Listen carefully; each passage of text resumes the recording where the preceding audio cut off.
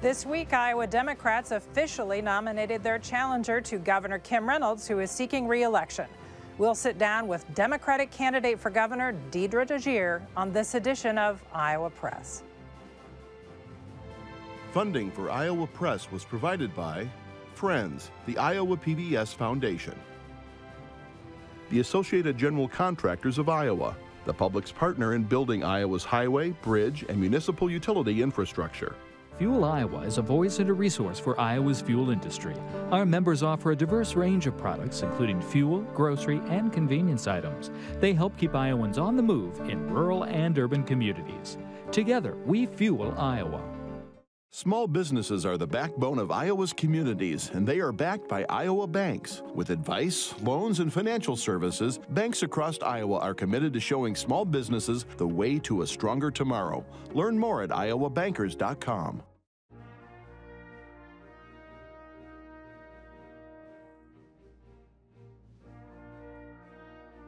For decades, Iowa Press has brought you political leaders and newsmakers from across Iowa and beyond, celebrating 50 years of broadcast excellence on statewide Iowa PBS. This is the Friday, June 10th edition of Iowa Press. Here is Kay Henderson.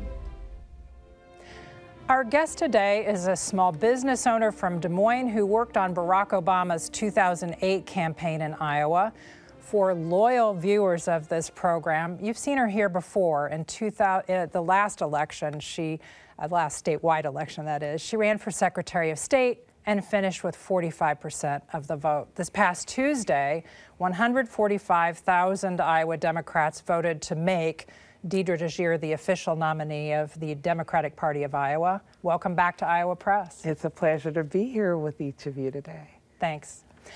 Also joining our conversation are Associated Press reporter David Pitt and Brianne Pfannenstiel, the chief politics reporter for the Des Moines Register.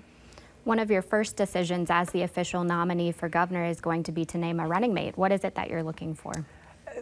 One, I'm looking for a running mate that is truly going to put Iowans first. That is at the core of my campaign. And we have some incredible Democrats across the state. And my short list is, is full of incredible Democrats across the state. But the, the primary thing that I'm looking for is balance.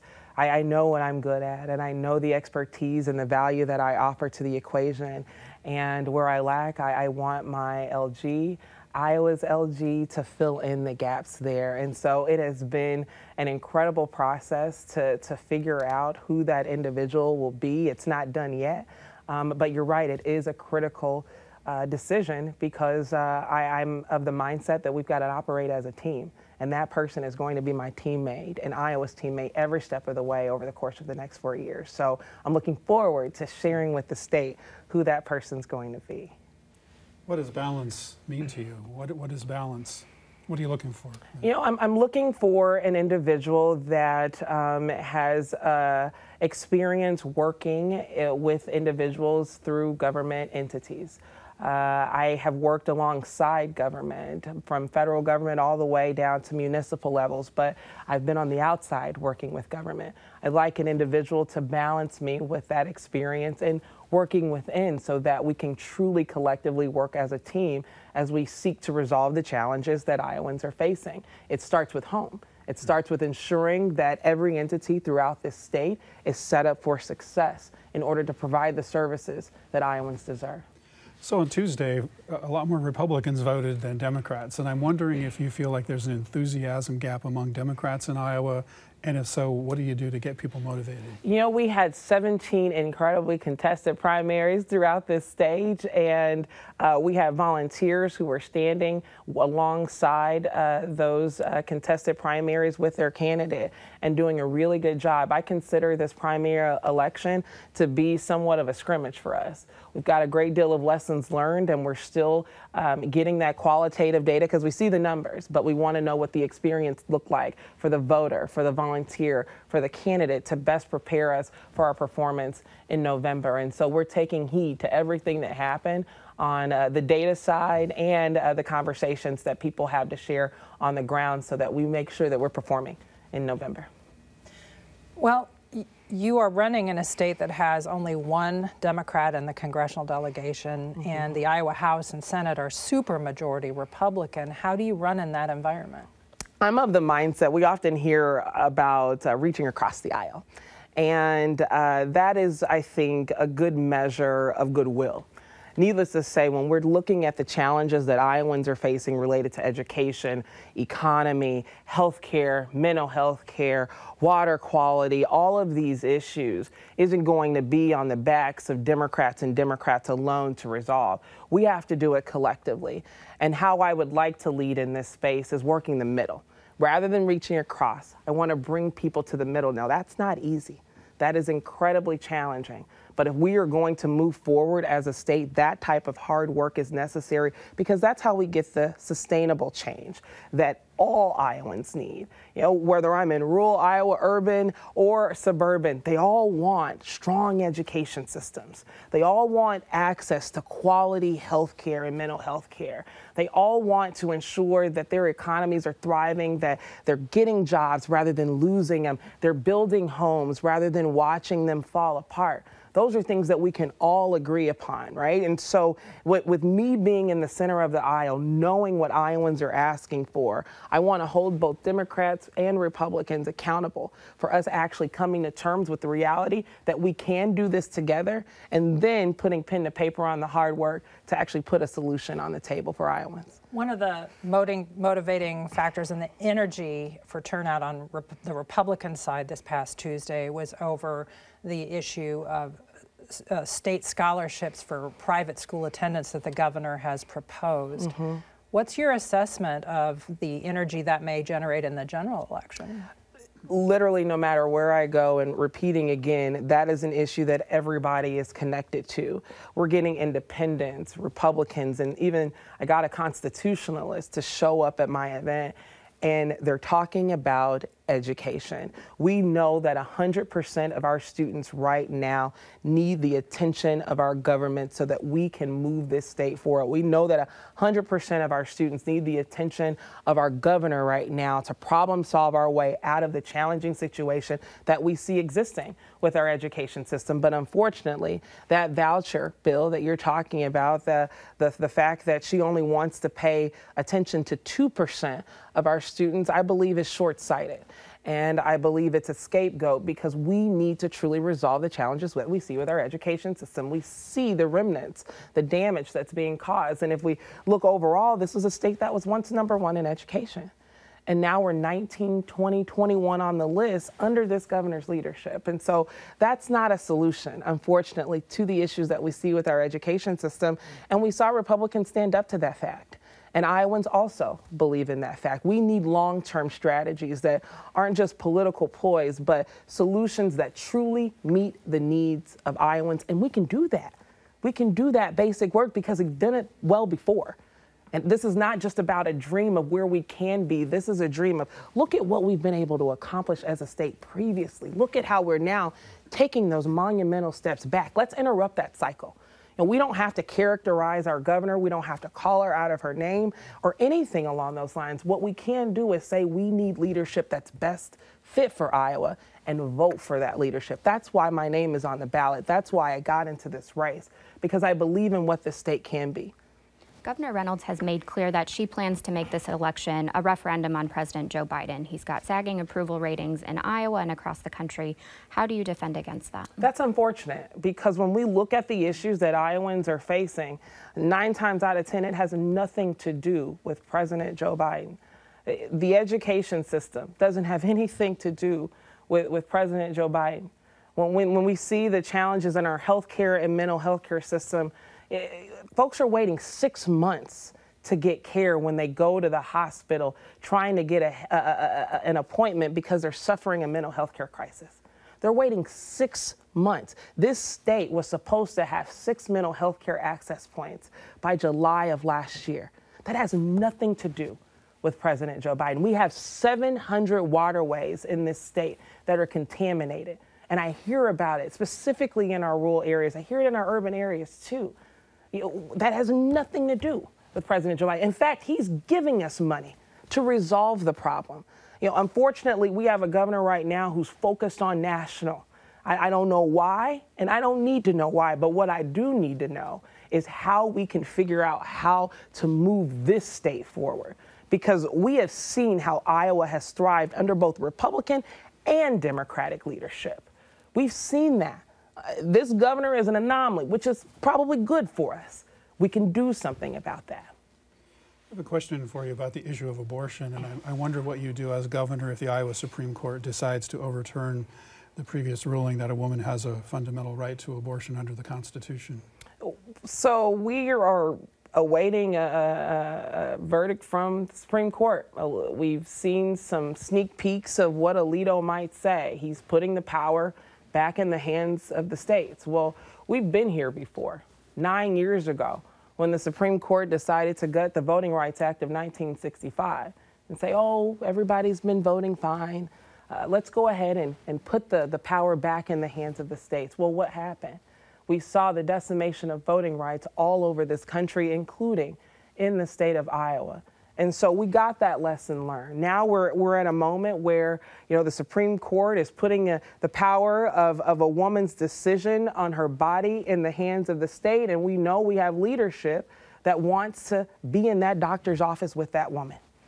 I'm of the mindset that I don't belong in that doctor's office with any woman throughout this state, that that is her choice and we should uphold that protection for that individual. Women, uh, we know this, are, do so much. They were disproportionately impacted by this pandemic through workforce. When we look at teachers and nurses, we've lost nearly 40% of our child care providers across this state, negatively impacting women. And here we are on the back end of one of the most treacherous times in our lives as, as, as Iowans as, and as Americans going through this pandemic. And rather than investing in women, we have a governor that's consistently trying to degrade a woman's right, and we have to interrupt that. We have to interrupt that. As governor, what, what gun related policies could you pursue and get through at the state level? Common sense. Common sense. I, I spent time in, in Ames this past Sunday uh, with the, the parishioners at Cornerstone after those two women lost their lives. I spent time at East a few months ago um, when those students lost their lives. I'm of the mindset that we've got to be preventative versus reactive, and something that's common sense is ensuring that an individual has to have a permit in order to purchase a gun or a rifle. I have a permit. It didn't take a lot for me to get it. Um, something so simple and common sense is just, just have a license on you if you're going to carry your weapon. That's basic in nature. But when we look at also moving a little step forward, because our governor, unfortunately, last year made minimize the requirements. She's the one that signed legislation that says we don't have to carry a permit, we don't have to carry a license. To me, that was a tremendous misstep. And, and it, it did not put Iowa people first because no one was really complaining about the necessity of that permit. But if we're going to go a step further so that people have the option to go to a grocery store and leave that grocery store still alive, so that students have the option to go to a school and, and their parents send them there knowing that they are not in danger. If we want to go a step further, let's look at our assault rifles. And we, we may not be able to do comprehensive common sense legislation right now, but when we look at 18 year olds and 19 year olds and the rate in which they are using assault rifles in mass shootings, let's make a requirement there that you've got to be at least 21 to purchase. Seven other states have done that, including our friends in Illinois. They know gun violence in a very, very severe way. And if they can do something like that, why can't we? These are common sense measures that we can do. This is what happens when we're putting people first versus politics. And that's hard for some people to do. But when you're in leadership, when you're governor of any, of any state throughout this nation, your job is to make sure that people are before everything else because who else, who else will do that in state government? If you, if you are elected, it's very likely that you'll still have a Republican led legislature. How, how could you work with them to pass, whether it's common sense gun laws, as you say, or anything else? Just talk to them about the challenges that people are facing uh, and, and, and allow Iowans to tell their stories. Again, These are, these are things that were already in place that we did not see the vast majority of Iowans lobbying for. So let's be realistic about what Iowans want versus what special interests want. I, I want to be a people centered administration. That's possible. You know, we, we've taken steps back, unfortunately, when we've u- utilized this tool that we call democracy and, and we've let special interests infiltrate it. Let's get back to basics. You know, those interests mean something. They educate us, they help us understand their issues better, so on and so forth. And I'm not suggesting that they go away, but they will, will, will not get the upper hand at the, at the cost of people. Chet Culver was the last Democratic governor in Iowa. The first bill he signed into law increased the state minimum wage. Mm-hmm. What's your intention? I want to increase this minimum wage. In, in almost every state that touches the state of Iowa, they pay higher wages than Iowa. On our, in our river towns, uh, many of these towns in, in Iowa are, are becoming bedroom communities where people work on the other side of the river and live in Iowa. I want them to be able to live, work, and play in their communities. But it's not enough to increase the minimum wage. You know, we know we need sustainable wages, but we also need access to housing for the people who are working all over the state as well. We need 50,000 workforce units today. 50,000 throughout the state. We've got to get to building on those. We also have to fill empty jobs. Right now, if you look on the state's website, we are short nearly 100,000 jobs, 91,000 in the state of Iowa where unemployment is below 4%. But when we disaggregate the data, we look at the challenges of, of unemployment in the black community. It's more than 10%. The Asian community, a little bit more than 8%. Look at the Latino community, a little bit more than 5%. Amongst individuals with disabilities who want to work, we see drastic unemployment numbers there. So, one, we've got to develop the workforce within the state. And I'll tell you, shortening the unemployment weeks doesn't do the trick it doesn't do the trick. And in fact, we've seen increases in, in, in, in, job availability since that time. We also have to present ourselves as a welcoming state as well. My peers, millennials, are leaving the state. Their parents are having to go to Colorado and, and Florida and Texas to visit their grandkids. We want to keep Iowans here. Our kids are leaving our rural communities after they graduate from high school, vowing never to come back. We have to give them reason to stay. So circling back, what wage rate do you want to have and what do you say to businesses, particularly small businesses who say that prices them out of mm-hmm. the job market? That's a really good question. I'm a small business owner. There and what I'll say is that I want to work with people on the number. I'm not going to give a number out right now. I know there's a lot of conversations on different numbers related to wages, but we've got to bring people to the table to really talk through what this wage increase is going to look like. Because when you talk about small business owners, I have a, a, a, a soft place in my heart for small business owners. They provide jobs for more than 50% of the workforce in this state. Needless to say, there are businesses that may not be equipped to pay those higher wages. And so we've got to develop programs that, that, that give them that space to increase wages But the other thing that we have to do for those small businesses is, is, is lower their overhead costs, specifically as it relates to health insurance. They're finding a great deal of difficulty in providing those full time jobs, quality of life jobs for their employees because health insurance is too expensive. I also am, am going to increase child care providers for those small business owners because even though they have those part time positions available, people are having to make decisions. Is it cheaper for me to stay at home or cheaper for me to go to work because of lack of access to childcare. So wages is one part. That's why I say we've got to look at it full scope because this is an economic ecosystem right here that we have to resolve challenges with it. And one fix is not going to do it. On tax policy, you've criticized, I think, the governor's tax policies, and I think the bill she signed in March, even more specifically, um, why, uh, why have you criticized it, and what would you do differently? What, what is your tax plan? You know, I, I believe that it's short-sighted. Um, four um, percent flat tax. It sounds good. It sounds good, um, and it was meant as an opportunity to to get people to come to Iowa and to get Iowans to stay to Iowa and stay in Iowa. But when you look at the data, and, and folks can look at this in so many different ways, but about a third of Iowans won't even see a difference because they don't pay the taxes at all, anyways. Um, and then about the top 1% of Iowans are going to get about $5,500 a month four years from now. But the vast majority of Iowans are going to get 50 to $55 a month four years from now. That doesn't get people to move to Iowa. You literally put that on a billboard in South Carolina hey, move to Iowa. You're going to get $50 a month four years from now. No one's going to move. No one's going to move. We need real tactics that get people in this state and keep people in this state working. So, what are my plans as it relates to taxes? One thing I want to do is put Iowa taxpayer dollars to work. We're sitting on more than a billion dollar surplus. Now, we don't need to break the bank and use all of that surplus, but we do need to put that to good use because there's no point of it sitting there. When we have an education system that's falling short, that's an opportunity to invest. Our healthcare and mental health care system is falling short. That's an opportunity in, to invest. Remember, I said earlier, we've got, uh, we, we should have six mental health care access points by now those resources can go to get those mental health care access points uh, up and going and started. And so my tax plan is to, to make sure that we're coming up with solutions so Iowans know every time they pay their taxpayer dollars that it's going to be put to work. Now, what I would also like to do is look at our youth.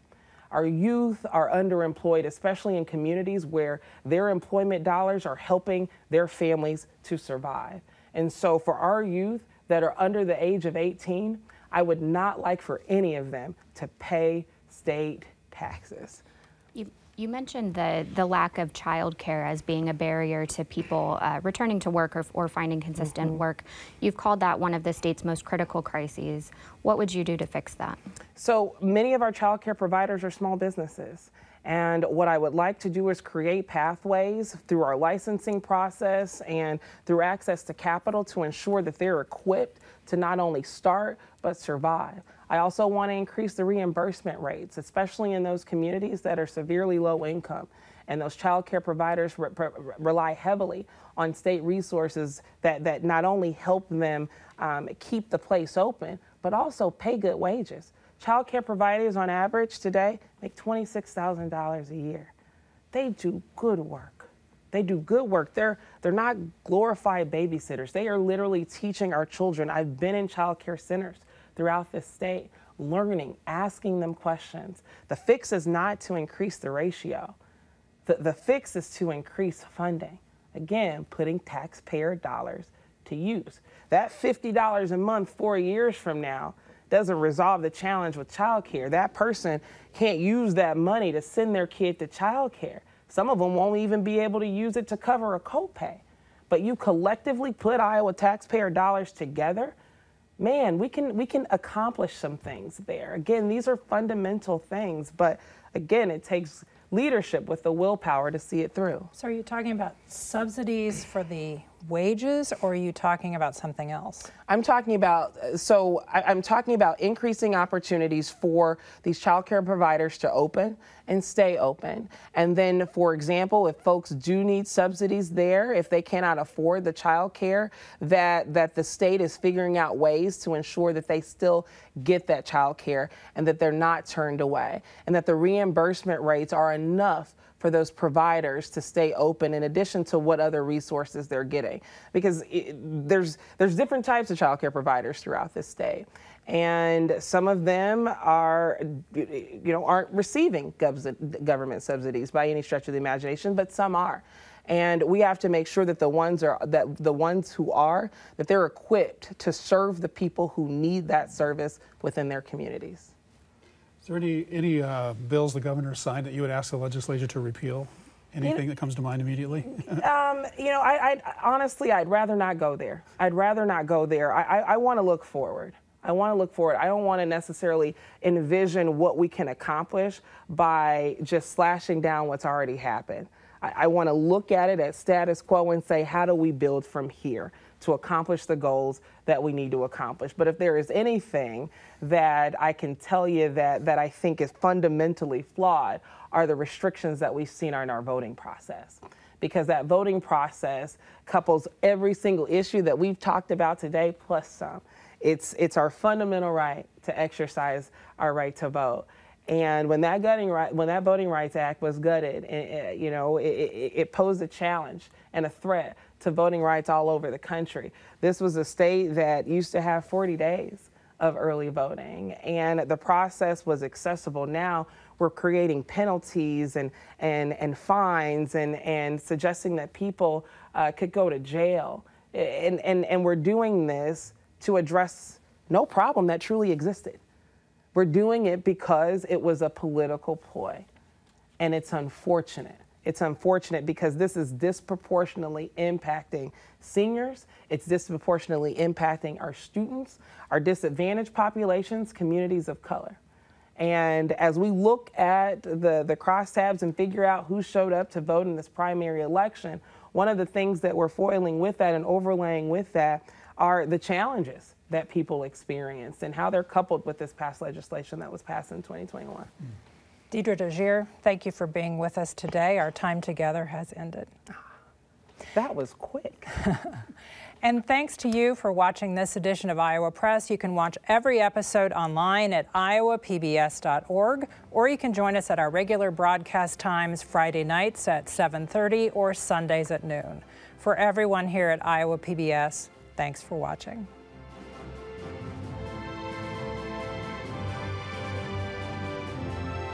Funding for Iowa Press was provided by Friends, the Iowa PBS Foundation, the Associated General Contractors of Iowa, the public's partner in building Iowa's highway, bridge, and municipal utility infrastructure. Fuel Iowa is a voice and a resource for Iowa's fuel industry. Our members offer a diverse range of products, including fuel, grocery, and convenience items. They help keep Iowans on the move in rural and urban communities. Together, we fuel Iowa. Small businesses are the backbone of Iowa's communities, and they are backed by Iowa banks. With advice, loans, and financial services, banks across Iowa are committed to showing small businesses the way to a stronger tomorrow. Learn more at iowabankers.com.